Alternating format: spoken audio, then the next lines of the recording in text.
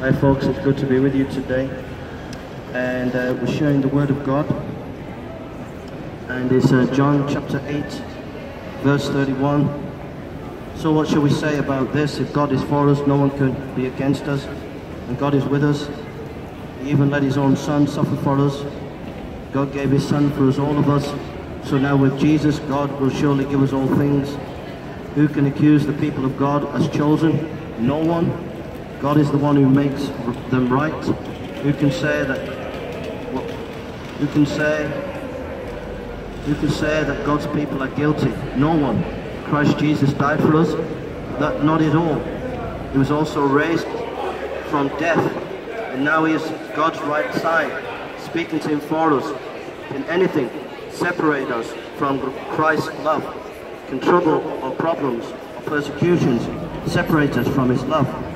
If we have no food or clothes or face danger or even death, will that separate us from his love? As the scripture says, for you are in danger of death all the time. People think we are worth no more than sheep to be killed. But in all these troubles, we have complete victory through God, who has shown his love for us. Yes, I am sure that nothing can separate us from God's love. Not death, life, angels, or ruling spirits. I am sure that nothing now, nothing in the future, no powers, nothing above us, or nothing below us, nothing in the whole created world will ever be able to separate us from the love of God as shown us in Christ Jesus our Lord. So here is about the love of God, that God's love cannot separate us. Nothing can separate us from that love. But we can only experience that love if we trust Jesus Christ. And that's the important thing because often Jesus said, if you know me, you know the Father. And he was sent by the Father. And he was sent by the Father to do the Father's will. And doing the Father's will was to be obedient to the Father and to die on that cross as our Savior. In Mark chapter 10, uh, the Lord Jesus said, I give my life a ransom for many. And Jesus gave his life as a ransom. He paid back. Uh, he, paid, he paid the debt that we owed. He paid us out of slavery. We were in slavery to the devil. We were in slavery to sin. We were in slavery to this dark world. A world of darkness. A world of apostasy that had fallen from God. That had fallen from his grace. That had fallen from his love. And Jesus had come to pay us, to, to save us, to redeem us from the curse of the law, from the, from the judgment of God, and by taking the judgment on our behalf. And so, if you want that relationship with God, the only way you can have that relationship, the only way that you can have that relationship is, is by knowing Jesus Christ. Is by knowing that Christ died on that cross for you. And if you trust Christ as your Savior, you can have that relationship, and it's a relationship forever and ever. It's a relationship that lasts forever and ever. It's a relationship that brings you into the presence of God. Now, nobody in history can get you into God's presence, only Jesus Christ. Only Jesus Christ can get you into his presence. Only Jesus Christ can get you into the presence of God. It's only by Christ who died on that cross. It's only by Christ who gave his life. It's only by Christ who died on that cross for you. It's only by him can you be redeemed, can you be saved. That is the only way. And Jesus said that he was the only way, the truth, and the life. No one can come to the Father but through me. Only by Jesus Christ.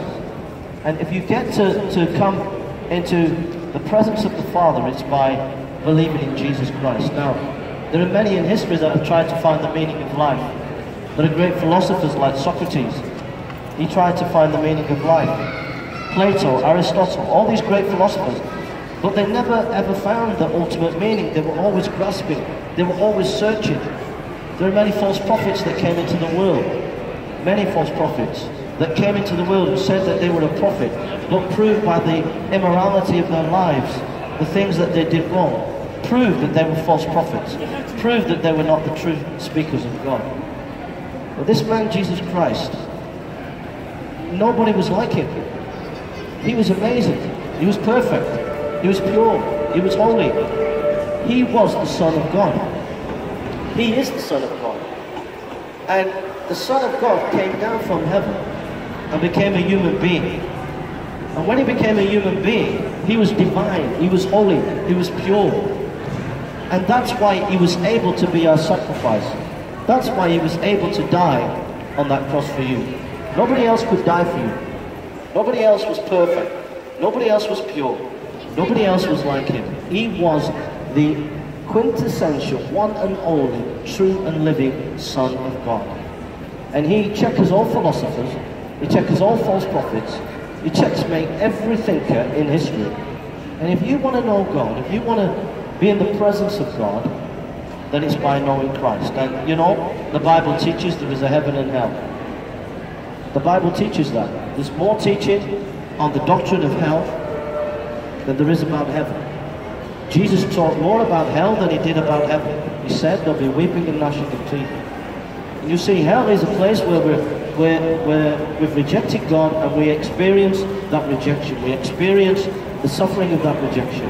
In outer darkness where there's weeping and gnashing of teeth. But being with God is to be in his presence forever. And God is saying this world is passing away. This world is falling apart. This world is breaking up. This world is never going to be perfect. We're never going to build a perfect world. We're never going to build a perfect utopia. It's not going to happen, folks.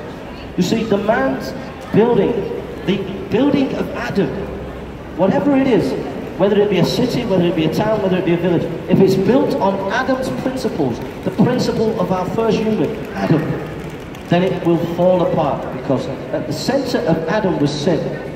And sin is selfishness. Sin is pride. A man can never build a perfect city on pride. Man can never build a perfect city on selfishness and sin. And so man's project is doomed to fail. Man's plans are doomed to fail. There will be no utopia in this world. There will only be weeping and gnashing of teeth in this life. For this life will be, as the Lord says, near the end of time, there'll be wars, rumors of wars, there will be all sorts of catastrophes in the end times. And we're in the end times now, and we're, we're going to experience more wars, more catastrophes. It's going to get worse and worse. And man's pride is going to kick in and say, we're still not going to believe in God. And there'll be a worldwide apostasy where the church even will apostatize, and people will apostatize. But, just in the days of Noah, there were a few that heard. Just in the day of Sodom and Gomorrah, there, there were a few that heard. And maybe you're one of those few. Maybe you're one of those few people that will wake up and realize that the days of our world are numbered. That the days of this planet are numbered. That the days of this nation are numbered. There is no future unless it's with God. If we don't trust in God, if we don't trust in Jesus Christ as our Lord and Savior, there is no future because we're building on a false foundation. The, the foundation of man, of reason, and of man's pride leads to collapse. Economic, political, social collapse. Collapse on every realm, collapse on every area, collapse on every side. But, my friends, but our foundation that is in Christ will lead us to heaven. My friend, time is running out. Time is fast running out. There's going to be a day when preachers are going to be arrested in this country. There's going to be a day where they will not let me preach. I'll be put in prison for preaching. There's going to be a day when they're going to shut us down. Not from this city, but from all cities, from all towns, from all villages. There will be a day when they will stop us from preaching. And you will not be able to hear the gospel. That will be a day when they stop us preaching. There will be a day when they'll stop me preaching, when they'll stop Christians preaching. Even right now, Christians are being persecuted all around, along the world today. It's no difference in this country. You okay? Do you want to dialogue or discuss?